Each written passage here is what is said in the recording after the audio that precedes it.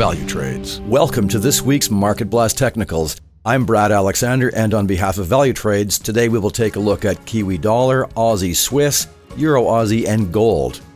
U.S. Treasury bond yields have increased, which always puts pressure on the price of gold. From the technical side, the ADX is showing us a weakening uptrend.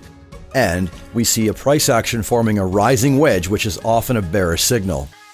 If we move out to the daily chart, we see strong resistance at 1830, which is also near the 38.2% Fibonacci level. We also see an overbought signal on the stochastic oscillator, so we may be looking at a reversal here. Yesterday we promised to look at the Australian dollar where we saw strength on every pair. Today's volatility from Australia's economic events seems to have finished, and for example, on Euro Aussie, we can wait for a bounce off the upper trend line and wait for a bearish signal on the stochastic oscillator the ADX is displaying a strong downtrend as well. On the other side, Aussie Swiss is in a strong uptrend, and we will look to see what happens at the lower trend line. But be aware, the RBA has decided to extend their bond buying until February, so if price action on any Aussie pair breaks the trend line, we may be looking at a reversal as many analysts see Aussie weakness.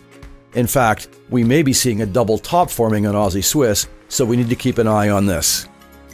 If you are thinking about trading New Zealand dollar on the same strategy, we note that price action has broken the trend lines on every pair.